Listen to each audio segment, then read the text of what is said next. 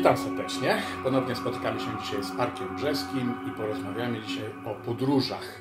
Przyszłych i przeszłych podróżach Arka Brzeskiego. Witam Cię. Witam Cię serdecznie. Ponownie. Y, Tak, ostatnio się spotkaliśmy przed Twoją podróżą do Meksyku y, z grupą ludzi i teraz no, wypadałoby powiedzieć, co tam się działo, jakie ekscesy, jakie sensacje, więc melduj. Wow, było super. Dokładnie tak jak e, zaplanowałem, tak się wszystko wydarzyło. Ludzie byli naprawdę zadowoleni. e, Cały, cały wyjazd przebiegł bezawaryjnie. Mieliśmy parę chwil grozy, e, które opowiem w międzyczasie, ale i zobaczyliśmy na żywo wieloryby, które przepływały koło nas. Byliśmy w dżungli, pojechaliśmy w góry do szamanów, którzy zajmują się pejotlem. Byliśmy w terenach, gdzie działają gangi, widzieliśmy spalone samochody, musieliśmy e, nad ranem wyjeżdżać, żeby nas tam nie nap- napadnięto, więc było bardzo adrenalinowo, ale jednocześnie po prostu super energia. Jasne. Wszyscy wrócili zadowoleni. Dobra, a no to może najpierw te kwestie covidowe. Jak to było wtedy tam w grudniu? W grudniu to bym powiedział, ale, ale o co chodzi? Aha, czyli w ogóle nikt nic nie... no, Nikt nic nie powiedział, e, po prostu wyjechaliśmy i wróciliśmy. Jedynie mm, w samolotach trochę nas e, pacyfikowali za brak e, maseczki, bo, bo jakiś taki dziwny e, reżim panuje, że nawet jak śpisz, to musisz spać w maseczce na twarzy. No, ale, ale dało się to jakoś ominąć twarz do szyby i, i, I udawać. i udawać, że, że, że, że masz. Jasne. Dobra, y, wspomniałeś o mm, tych medycznych sprawach, czyli lokalne medycyny. To może interesować wielu, więc opowiedz, e, co tam wolno, czego nie wolno, tam w tych rejonach, gdzie byliście. E, W Meksyku i wolno i nie wolno wszystko. Powiem Ci, że e, do godziny 18 e, w Meksyku życie toczy się normalnie. Natomiast po zapadnięciu zmroku, jak wyjdziesz z hotelu, to nie przejdziesz 100 metrów i masz zachęty wszelkiego rodzaju. Dziewczyny zapraszają Cię na masaż, dilerzy proponują kokainę, Mm, No nie wiem, co tam. e, Haszysz mi cztery razy zaproponowano na bardzo krótkim odcinku, to dosłownie 100 metrów od hotelu. Było dziwnie, ale, ale, ale kurczę, no, jak ktoś potrzebuje dużej dawki adrenaliny, no to może pojechać, dostanie tam wszystko i za parę pesos. Mhm. Dobra, a z takich e, kwestii bardziej medycznych, załóżmy, że ktoś by chciał coś sobie podkurować, e, to co można tam, z czego można skorzystać?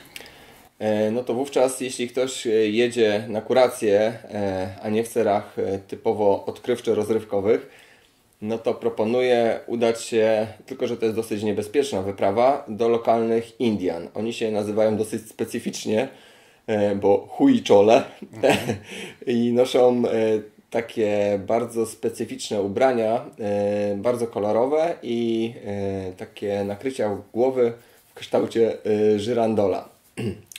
Ale, ale to jakby cała społeczność, wszystkie kobiety w tych strukturach u nich chodzą w sukniach. I te suknie są bardzo takie kobiece, bardzo kolorowe i na ogół mają jakiś symbol albo niebieskiego jelenia, który jest w kulturze mocno zakorzeniony i legenda mówi, że niebieski jeleń właśnie wcielił się w kaktusa pejotla i za pomocą tego kaktusa można e, leczyć ludzi, jak się tam wie jak to robić i tego mm, jakby duszę tego e, niebieskiego jelenia e, wydobyć z tego kaktusa. I następnym jakby krokiem jest znalezienie takiego szamana i pojechanie do wioski. No i tu się zaczyna przygoda, ponieważ e, jedzie się do wioski, która się nazywa Jezus Maria i teoretycznie sugeruje, że jest tam bardzo bezpiecznie. Otóż nie. Czyli jak wjeżdżasz, to od razu Jezus Maria, tak? No, im dalej, im dalej w góry, znaczy może tak, je, jedzie się przede wszystkim samemu, nagle zostajesz sam i jedziesz pod górę, gdzie nie ma żywej duszy. Jest asfalt i wszystko się może zdarzyć. I tam właśnie się tacy współcześni rozbójnicy czają przy tych drogach i jak ktoś jedzie i wiedzą, że jedzie, najlepiej jak zagraniczni turyści, no to wtedy wychodzą z karabinami, no i tak proponują postój, prawda? No i podczas tego postoju pozbywasz się wszystkiego, co jest cenne, czasami nawet samochodem. Więc y, mam tam zaprzyjaźnionego Indianina, który y, w miejscowości Sayulita y, sprzedaje wyroby lokalne. No i nas zaprosił właśnie do swojej wioski, gdzie powiedział o jakich godzinach mamy jechać. I on był naszym przewodnikiem jednocześnie. Mhm. Powiem Ci, że wyprawa kurcze życia, jak po 4 godzinach jazdy w kółko, bo praktycznie jedziesz w tej górze i tam są bardzo ostre zakręty, musisz cały czas patrzeć. Przepaście są takie jak e, z hollywoodzkich filmów. Słuchajcie, jesteśmy na moście. Jak ktoś ma lęk wysokości, to lepiej niech nie wchodzi.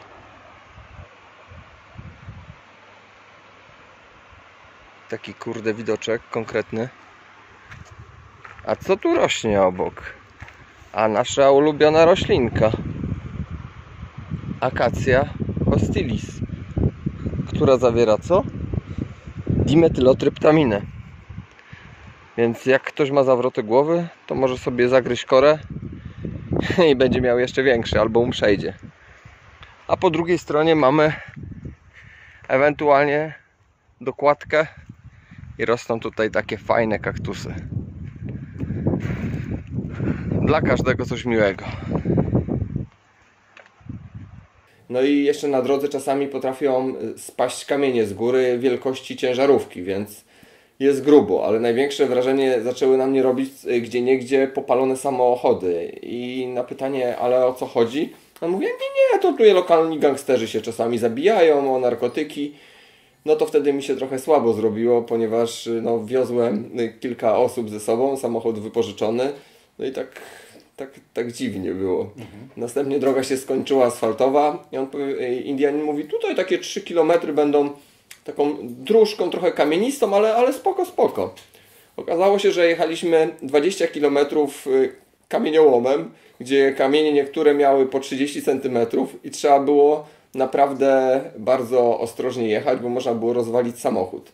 Y, ścieżka y, była położona jakby w, takiej, w takim wąwozie. On mówi, no tutaj właśnie też czasami napadają, bo tu się bardzo wolno jedzie, to więc wychodzą z zakrzaków z giwerami, no i, no i można po prostu y, też stracić samochód, a jak się ktoś stawia, no to i życie, bo tutaj widzisz są takie urwiska, no to tam zrzucają. No to powiem Ci, że już wtedy zacząłem się zastanawiać, czy ja w ogóle dobrze robię, że ja tu jestem, no ale już było 5 km do y, ich y, osady no to jakoś z duszą na ramieniu y, dojechaliśmy. No i wtedy zaczęła się tak naprawdę magia, bo... Ale czekaj, to oni napadają wszystkich? Y, nie, nie, nie. Czy, czy lokalsów nie napadają? Znaczy wszystkich napadają. Lokalsów, nie lokalsów, to są po prostu takie bandy, które żyją tam, e, normalni ludzie, ale jak jest perspektywa do robienia sobie kasy, no to zakładają maseczki i, i to wcale nie covidowe.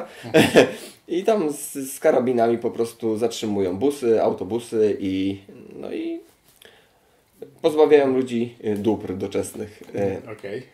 I tam jest bardzo ładny ośrodek y, w tej miejscowości. I się zapytałem, dlaczego nie możemy tam spać. On mówi, słuchaj, w zeszłym roku tutaj było tak, takie małżeństwo z Francji z dzieckiem, z dwójką dzieci, no i tutaj spali. No i pewnej nocy przyszli bandyci, porwali im to, te dzieci, no i powiedzieli, że muszą wpłacić za każde dziecko po 10 tysięcy euro. No i te dzieci przez ten czas były u jakichś tam rodzin tych y, meksykańskich, no i wtedy cała wioska się złożyła, żeby te dzieci wykupić. Nic im się oczywiście nie stało, no ale od czasu tego incydentu rząd y, zakazał działalności tego ośrodka, a położony jest naprawdę y, w pięknym miejscu. No dobra, to te przygody takie niebezpieczne mogą się wydarzyć w Meksyku, natomiast Peru też tak wygląda? To zależy, co masz na myśli, mówiąc przygoda. Jeśli no opowiem o takiej przygodzie. No mój kolega pojechał... Gdzie? W Meksyku czy w Peru? E, w Peru. W Peru e, no. Mój kolega pojechał do Peru jakieś 5 lat temu. No i przytrafiła mu się straszna przygoda. Muszę Was przestrzec. Ponieważ urodziło mu się dziecko i dostał dożywocie. I teraz... I musiał teraz, zostać. Znaczy chciał zostać, bo się zakochał e, w swojej żonie i po prostu tam mieszkają właśnie w Pukalpie. Jeśli byście chcieli go zweryfikować i z nim porozmawiać, to Rafa, e, Rafał Koka Dila, taki ma właśnie e, pseudonim na Facebooku i możecie go zapytać, jak tam się żyje. Będziecie mieli wiadomości z pierwszej ręki. Natomiast jeśli chodzi o bezpieczeństwo fizyczne, mhm. to ja zdecydowanie preferuję Peru. Nigdy nie miałem tam poczucia zagrożenia ze strony rdzennej ludności nie, nie chodzę po nocach, aczkolwiek zdarzyło mi się parę, parokrotnie iść tam e, na targ e, w Pukalpie w godzinach nocnych i nic złego mi się nigdy nie przytrafiło, natomiast no, zapę, zapędzając się do, mm, po Meksyku, e, tam w boczne uliczki, to już czułem, że tak powiem, taki dreszczyk na ramieniu. W moim odczuciu Peru jest zdecydowanie bardziej e, przyjazne, jeśli chodzi o turystów. I teraz przechodzę do tej jakby bardziej duchowej e, części, bo jak już uda się Wam dotrzeć e, do tego szamana i do tej wioski, no to wówczas zyskujecie dostęp do pejotla, ponieważ ci Indianie jako jedyni mają pozwolenie na uprawianie swojej religii, powiedzmy to. Mhm. I przyjeżdża właśnie taki człowiek, e, szaman, który jest jakby, nazywa się to jest Curandero, tylko zapomniałem nazwy w języku ich lokalnym. E, w każdym razie uznajmy, że jest to lokalny szaman e, i, i wtedy przygotowuje Was do takiej ceremonii. Wieczorem przychodzicie do takiego zadymionego powiedzmy szałasu i tam ma przygotowane kaktusy, ma przygotowane takie jakieś piórka magiczne i robi oczyszczanie. I to oczyszczanie polega na tym, że takim piórkiem jakby oczyszcza wasze ciało czy aurę, nie wiem co on tam robi. W każdym razie później e, wydobywa z siebie na zasadzie wyplucia jakiś kamień i ogląda go pod światło i mówi co wam tam jest. I tych kamieni potrafi wyciągnąć całkiem spore ilości. Nie wiem jak on to robi, ale mówi, że to mu się samo tworzy. W każdym razie sam proces tworzenia jest dosyć taki specyficzny powiedzmy. E, no i e, następuje kolejna część, czyli on zaczyna śpiewać w języku właśnie Indian, który jest zupełnie niezrozumiały i śpiewa do tego właśnie kaktusa coś na zasadzie komunii. Po prostu bierze te kaktusy i tam z nimi rozmawia czasami się dzieją dziwne rzeczy, bo na przykład ogień zmienia kolor e, z żółtego na niebieski. To też byłem e, tego świadkiem. Nie potrafię powiedzieć, czy on czegoś tam dorzucił, czy po prostu to jakaś metafizyka zadziałała, ale było to na pewno bardzo ciekawe. No i wtedy e, rozdaję tego kaktusa i, no i ludzie wchodzą w takie właśnie ciekawe stany. Niektórzy potrafią widzieć po prostu w nocy jak koty, ponieważ no, tak to działa, że no, bardzo zawęża pole widzenia, ale jednocześnie y, widzisz jak przez noktowizor. Po prostu mhm. wszystko bardzo wyraźnie. To jest też jedna z ciekawych właściwości pejotla, ale, ale jak weźmiesz jego odpowiednią ilość, no to y, możesz się spotkać z duchem tej rośliny. Widzisz po prostu osoby, których tak naprawdę nie ma i no i e, jak taką osobę dostrzeżesz, to możesz iść jakby do niej ze swoim problemem, powiedzieć co Cię nęka i po co przyszedłeś. No i ona Ci jakoś daje odpowiedź. Ewentualnie jeśli nie jesteś aż tak mocnym e, zawodnikiem, no to wówczas e, ten szaman robi to za Ciebie, no bo ze względu na to, że jednak dba o tych turystów z zagranicy, nie wie jaką mają tolerancję i, i, i ma świadomość, że za dwa dni oni muszą jednak stąd wyjechać, no to daje im takie kontrolowane dawki. Natomiast takie dawki prawdziwe, rdzenne, to potrafią y, wymieść człowieka na dwa dni totalnie bez świadomości i wtedy robi bardzo ciekawe rzeczy, o których później chodzą legendy wśród lokalnej ludności. Na przykład można się nago, na, nago z psami bawić, ale to jedna z wielu. No dobra, a jakieś takie ciekawe przypadki uzdrowień? E, tak, no to właśnie tam e, ludzie przyjeżdżają do tych, e, pomimo ryzyka, do tych szamanów, ponieważ jeśli zawodzi lokalna medycyna, no to e, oni są w stanie mm, w jakiś sposób naprawić to, co, co było zepsute. Jak ktoś ma, nie wiem, jakieś problemy wewnętrzne, no to oni je po prostu uzdrowią. No i o ile z powrotem człowiek nie wejdzie na tą samą drogę, no to y, ten efekt wyleczenia potrafi się utrzymywać do końca życia. Mhm. A jakaś taka danina dla takiego szamana to ile mniej więcej wynosi? Około 200 zł. No. Około między 200 a 300 zł, więc to jest i Za tak... dwa dni imprezy powiedzmy, tak? No tak, tak, tak, więc mhm. uważam, że to jakoś bardzo drogo nie jest, natomiast no trzeba tam dojechać. No, łącznie z wyżywieniem. Tak. Znaczy, nie, nie, ja mówię o, samą, o samych kosztach ceremonii, no bo y, on się przygotowuje specjalnie, musi tam pozyskać materiał y, poznawczy i y, natomiast mieszka się w takim bardzo prostym hotelu i, no i się na ogół stołuje u jakiejś lokalnej tutaj rodziny. rodziny tak. Mhm.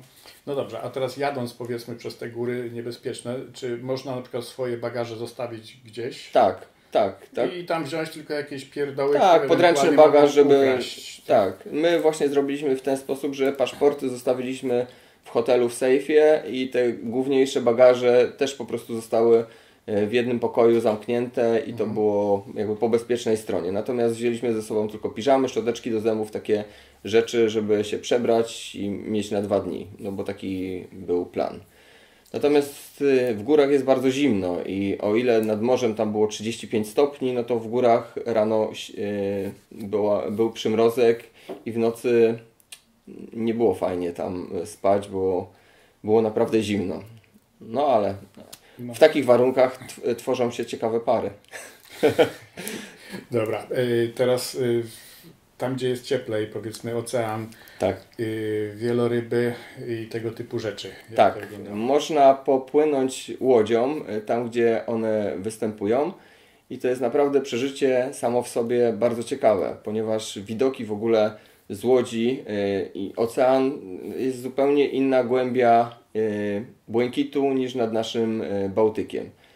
E, dodatkowo to morze jest zawsze ciepłe, ocean nie może. E, no i, i te e, wieloryby bardzo blisko łodzi wyskakują i to naprawdę bardzo duże zwierzęta i to robi niesamowite wrażenie.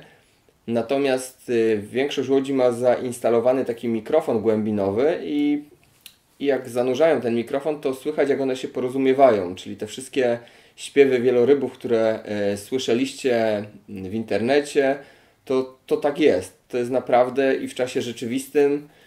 Tylko, że jak jesteście przy tym, widzicie tą oprawę, to to jest y, zupełnie po prostu y, inna energia. Mhm. Puściła mikrofon do wody i za chwilę będziemy słyszeli wieloryby. Ahí va, ahí va. Ok, chicos, escuchen. Ok, listen.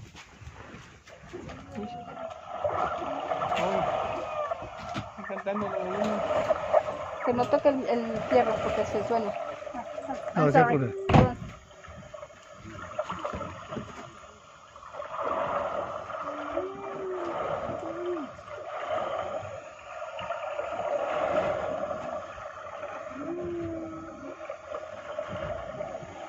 Coś jak w moim żołądku po ciężkiej kolacji. Dobra, a dżungla?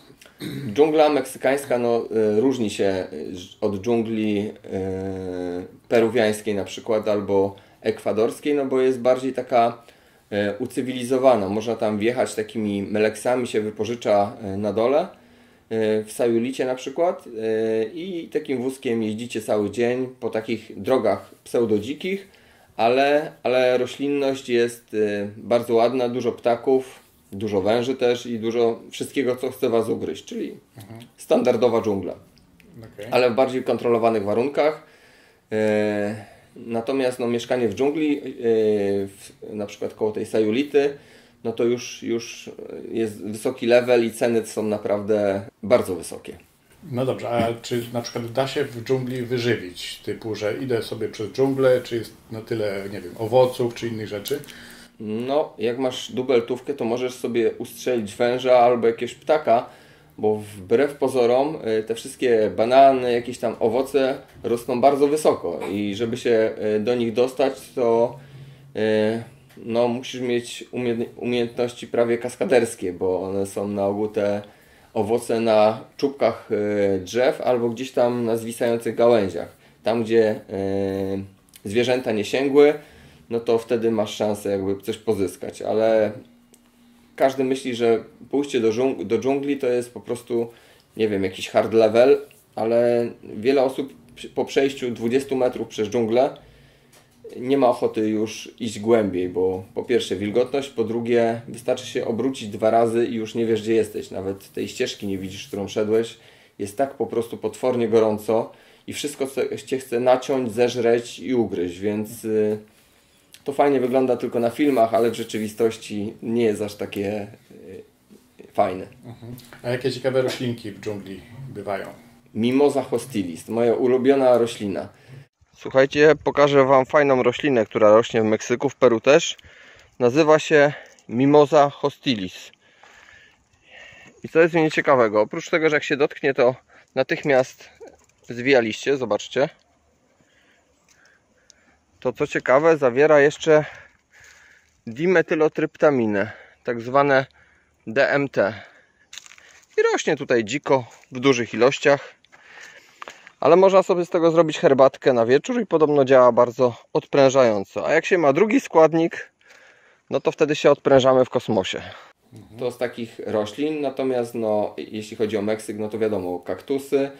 No i kaktusy kolumnowe, tam są San Pedro, to, to to rośnie wszędzie. To jeśli chcesz sobie na privie zrobić taką ceremonię i wiesz co robisz, no to możesz sobie takie coś e, zagotować. Dobra. Teraz y, no, Meksykanki i w ogóle y, Peruwianki są miłe dla Europejczyków. Tak. e, Jeśli chodzi o kobiety e, Amazonii, Centralnej Ameryki, to jesteśmy w oczach tych kobiet postrzegani my, mężczyźni, jako niesamowicie atrakcyjny produkt e, eksportowy, więc e, Importowe. importowy, przepraszam, złego słowa e, użyłem. I dużo Polaków tak naprawdę e, ma e, żony, dziewczyny e, peruwianki, dlatego że tam jest zupełnie inne postrzeganie mężczyzn przez kobiety. One po prostu są bardzo oddane, bardzo troskliwe i dają mm, mężczyznom to, co u nas w Europie w ogóle jest bardzo rzadko spotykane. Są niesamowicie ciepłe i, i, i rodzinne. Więc jest to po prostu mm, jakby trochę inny level i no, a poza tym, no wiesz, jak jesteś adorowany, to no to wiadomo, czasami się ciekawe rzeczy tam dzieją podczas wyjazdów. Y, Podczas takich wypraw czy po wyprawie y, różne pomysły ciekawe przychodzą, tak? Co tobie ostatnio przyszło? Na poprzednim Takie spływy. Tak, tak, bo z, na ogół właśnie po e, doświadczeniach medycyny rdzennej, tak to ujmę, nieważne czy e, jest to dostęp do informacji od strony roślin e, z Peru czy też z Meksyku, no to e, po powrocie z Meksyku któregoś właśnie dnia zastanawiałem się, jak zrobić, żeby ludzie mogli korzystać właśnie z takich dobrodziejstw bez użycia jakichkolwiek substancji. No i wtedy parę lat temu przyszły te słuchawki stanu zerowego, e, o których kiedyś zrobiłeś ze mną wywiad. No. Natomiast e, teraz e, po powrocie w międzyczasie dostałem oświecenia pod wpływem katalizatora, e, o którym nie będę teraz mówił. E, I, e, no i przyszedł mi do głowy pomysł, jak z naszych rdzennych, lokalnych produktów, które są legalne oczywiście, wytworzyć niesamowitą substancję, która bardzo fajnie działa na ludzki mózg, z, oczywiście z korzyścią, nie wyrządzając żadnej krzywdy, natomiast dając też dostęp do, do potężnej wiedzy. Dobra. I ten temat na tym zakończmy, żeby YouTube nie miał pretensji. I teraz y, planujesz y, wyprawę do Ekwadoru lub Peru. Peru. Jak ta sprawa wygląda? E, W zależności od sytuacji, e, tak chciałbym powiedzieć epidemiologicznej, ale, e, ale nie chcę tego słowa używać, No, bo Świrusologiczne. świrusologicznej, e, to albo jeden kraj po prostu będzie miał lżej i, e, i po prostu wpuści na testy PCR, e, i wtedy pojedziemy sobie e, w głąb i będziemy doświadczali tych wszystkich e, przygód e, amazońskich, bo chciałbym pojechać do Amazonii. E, No, z naciskiem na Peru, bo Peru jest mistyczne, magiczne, no i bardzo dobrze e, znam tam te e, wszystkie rejony i co może nas zaskoczyć lub nie. E, Natomiast w Ekwadorze jeszcze nie byłem, natomiast e, córka e, jednego z szamanów, który mieszka właśnie w pobliżu naszej osady, mieszka w Ekwadorze no i, i zapraszała mnie bądź z grupą do odwiedzenia właśnie Ekwadoru. W związku z powyższym myślę, że w jednym lub do drugiego, do jednego albo do drugiego kraju na pewno uda się wjechać. I chcę to zrobić dosyć szybko, bo to na, w przeciągu miesiąca bądź półtorej miesiąca zawsze planowałem te wyprawy tak około trzymiesięcznym wyprzedzeniem, natomiast ze względu na taką dynamikę tutaj otwierania, zamykania granic, luzowania bądź zaciskania pasa, e, no to chciałbym to zrobić w ciągu miesiąca, półtorej miesiąca od czasu emisji e, tego materiału, no żeby po prostu no, te bilety nie trzeba było ich przesuwać po prostu albo walczyć z systemem. Dlatego planuję super fajną wyprawę do Amazonii i, no i chciałbym po prostu Was zaprosić, jeśli byście mieli ochotę, mhm. żebyśmy po prostu... Na dwa tygodnie, tak? No, dwa, trzy tygodnie, bo może tak naprawdę to być ostatni możliwy wyjazd z Europy do Ameryki Południowej, no bo bo nie wiadomo. Co. Dokładnie, sytuacja się tak dynamicznie zmienia, że jeśli jest możliwość doświadczenia, no to fajnie jest te, tego doświadczyć. Y, teraz y, co Pukalpa tam się dzieje? E, Pukalpa, no to tam w, w, w pobliżu Pukalpy jest położona e, osada, którą z przyjaciółmi założyłem, ta Nueva Polonia del Peru. No niestety poprzez Świrusa nie mam e, dostępu jakby aktualnego, co tam się dzieje, ponieważ nie mamy tam na chwilę obecną polskich wolontariuszy, nikt tam nie mieszka, więc no może być wszystko. Na pewno ją odwiedzimy, zobaczymy, jeśli będzie w warunkach nadających się do mieszkania, no to, no to e, chętnie Was zaproszę do tej osady i tam możemy pomieszkać, natomiast gdyby nie było takiej możliwości, no to będziemy jak e, ludzie mieszkali po prostu w hotelach i z tych hoteli będziemy wychodzili e, codziennie na jakąś tam fajną wyprawę. No. Przetartym szlakiem, czyli na pewno pojedziemy do rdzennej ludności, która mieszka nad rzeką, do wodospadów andyjskich, pojedziemy do gorących źródeł w Kontamanie, popłyniemy łodziami, polecimy samolotem i właśnie mam taki misterny plan, ponieważ zrobiłem licencję pilota, jak wiesz, no to właśnie moim takim marzeniem jest wypożyczyć samolot tam w Pukalpie i polecieć do Kontamany jakby jako dowódca. W ten sposób. Co tam jeszcze w Kontamanie?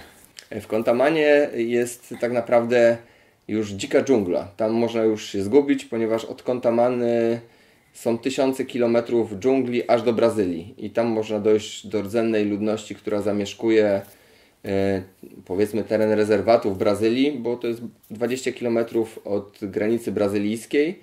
E, no ale nie proponuję nikomu się tam aż tak daleko zapuszczać, natomiast e, sama już ta dżungla i ten rezerwat, który tam jest, daje no niesamowity potencjał, niesamowitą energię i co ciekawe, y, coś tam lata. Y, I to nie są nietoperze, tylko y, za każdym razem jak jedziemy, no to na, wysoko na niebie przemykają po prostu obiekty, które na pewno nie są samolotami.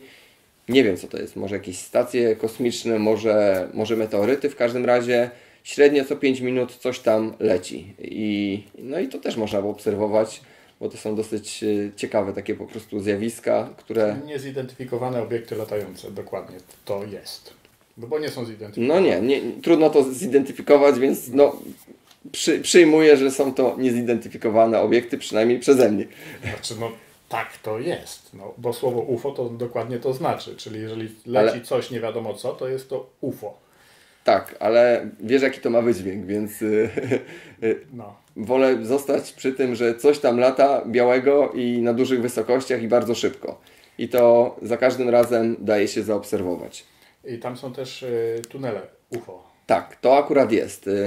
I właśnie jednym z moich celów już od kurczę, od kiedy jadę, jeżdżę do Peru, dzięki takiemu podróżnikowi właśnie, który się osadził Polakowi, ale już niestety świętej pamięci, dzikiemu Mietkowi, opowiedział mi o nich, on tam po nich chodził i to są po prostu tunele w kształcie koła. Wygląda to trochę jak linia metra, które się ciągnie tysiącami kilometrów pod ziemią. I co ciekawe, jest tam e, przepływ powietrza, więc e, no, miejsce warte uważam obejrzenia, chociaż pewnie jest dosyć monotonne, ponieważ no, to jest e, takie miejsce, gdybyście chodzili na przykład po, po no tunelu metra. No po długich tunelach. No. Tak.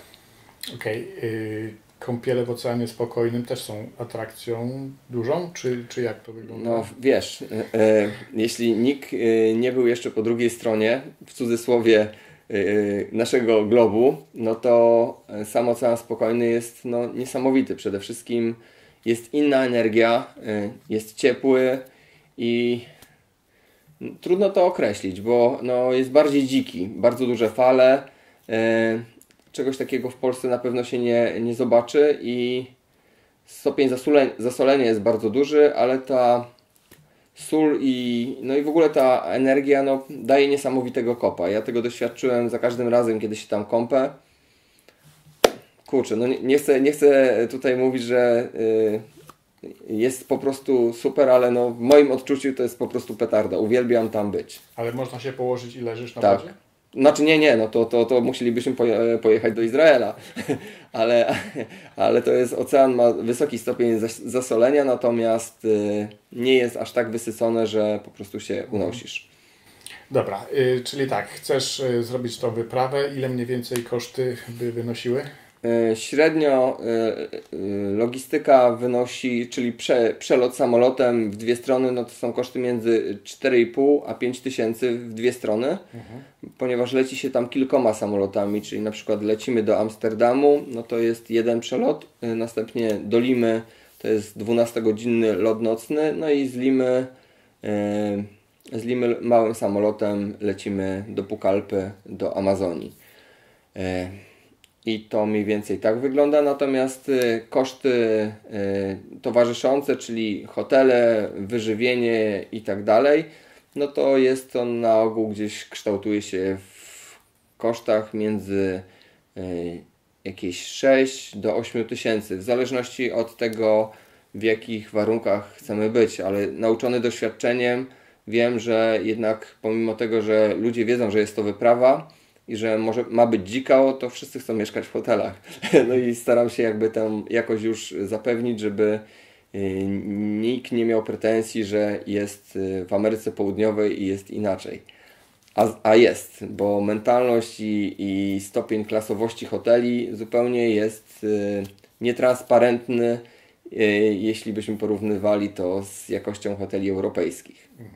Za to można porzuć liście koki. Okej. I Ale te liście to gdzieś tak normalnie znajdziesz sobie w krzakach na poboczu? Rosną. E, li, e, koka rośnie wszędzie. Liście koki kupuje się za 5 soli za woreczek. Taki woreczek wystarcza na cały dzień. No i można je jeść na dwa sposoby. E, jako po prostu środek pobudzający, wzmacniający i ogólnie uleczający, tak jak jedli to Aztekowie i Indianie. Albo e, w sposób, który daje dodatkowego kopa i po prostu się robisz gadatliwy i masz powera w inną stronę. Wówczas się to zagryza mm, sodą oczyszczoną, bądź, bądź oni używają do tego kredy i wtedy wytwarzają się wolne alkaloidy, czyli po prostu dzika kokaina z tymi wszystkimi towarzyszącymi substancjami w bardzo małych ilościach.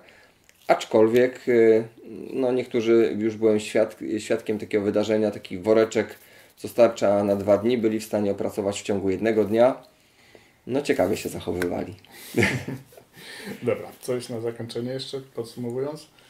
No jeśli byście właśnie chcieli y, zobaczyć Amazonię, być może po raz ostatni, mam nadzieję, że nie, bo bardzo lubię y, Ameryki y, Centralną i a przede wszystkim Południową, bo to jest naprawdę magia, no to zachęcam tutaj do kontaktu poprzez Alexa.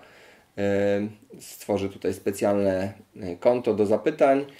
No i możemy po prostu coś zmontować. Jeśli będziecie mieli dodatkowe pytania, no to chętnie Wam na nie odpowiem. I tak jak mówię, tutaj w tym przypadku czas jest dosyć istotny, żeby po prostu móc przewidzieć nieprzewidywalne. No ja wierzę, że się uda, że dotrzemy i, i nie będzie żadnych po drodze komplikacji, ale to jest przygoda, więc y, dla odważnych trochę. Tak. Dziękuję bardzo. Bardzo Ci dziękuję. Dziękuję. Dziękuję.